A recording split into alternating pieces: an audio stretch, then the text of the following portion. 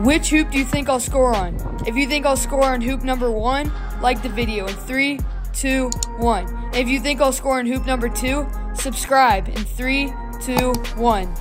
If you picked hoop number two, you are correct.